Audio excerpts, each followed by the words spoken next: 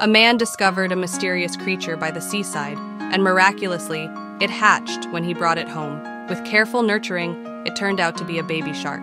Under the man's devoted care, the shark grew day by day, eventually needing a larger tank.